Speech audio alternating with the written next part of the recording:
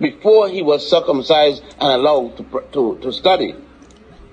Not one of them completed the story. For those of you who are Christians and born again or not, you may think that it is something exceedingly uh, new. But you don't forget that long before this concept of the Virgin Mary, the African, and you may go to the temple of uh, Seti I at a place called Abydos, in again in Egypt, and you will see in the wall, cut into the stone, not only the story in writing, but the pictures of the Immaculate Conception of Isis. The Roman Catholic has a, a prayer that is a copy from this. Holy Isis, Mother of Horus, blessed is the fruit of your womb. The Catholic adopted it as Holy Mary, Mother of God Jesus. Blessed is the fruit of thy womb. You got to remember that this came from Egypt to Greece and from Greece to Rome as the Herculaneum worship of Isis. You may go into the same temple and see the resurrection scene. In those resurrection scene, and it had nothing to do with a woman having her hymen and getting pregnant. That's ridiculous. You are now studying biology and you know that is impossible.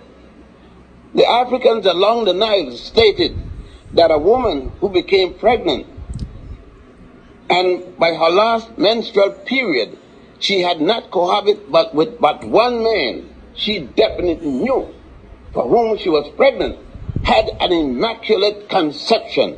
That was the way it was said until the Nicene Conference of Bishops in 332. It is then that the Greeks and others introduced the concept of having a hymen and being pregnant, and that is the Immaculate Conception. It was not said until 332.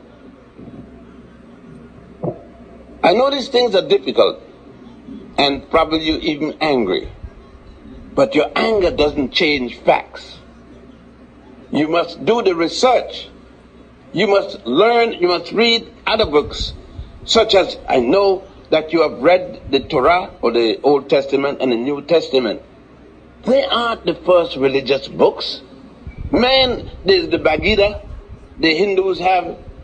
There is the Book of the Dead and the Papyrus of Ani and the Pyramid text, the Coffin text, the Osirian drama, and all such works, thousands of years older than your Old Testament or New Testament or Quran. Thousands of years older.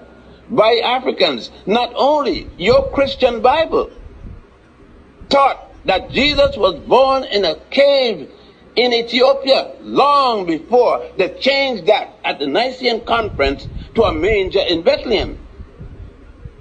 And for many of you who gonna have the problem when you go to heaven and find that Jesus is black, I know you're gonna have a lot of problem because in your church you see your white Jesus and I know if you went to your church in the morning and saw a, a, a, a black Jesus, you're to faint, more than faint. Some of you to die because you're not going to the heaven with no black God up there. You, you know that. You, you're accustomed to saying nigga and shit. And you know you, you say it all the time. So I, I, I don't use the term. It's con, the word is contemptible. I can't stand people who use the term. I'm just repeating what you say. But then you have to ask the Pope in Rome why is it that he goes back to Poland to worship at the feet of the Black Madonna and Child? Why is the Black Madonna and Child all over the Spanish speaking countries? Why is it so? Why is it that the Black Madonna icons are all over Russia? Because what you have gotten is Christianity of modern times. Don't forget that Christianity started in Egypt with Pantheus and Boetius, then went to Greece, and from Greece to Rome. I think many of us can quote Bible scripture, but we don't know Bible history. The African that I'm talking about now gave you mathematics. You can't name me one figure, one number was developed or given to the world in Europe? You can't name one.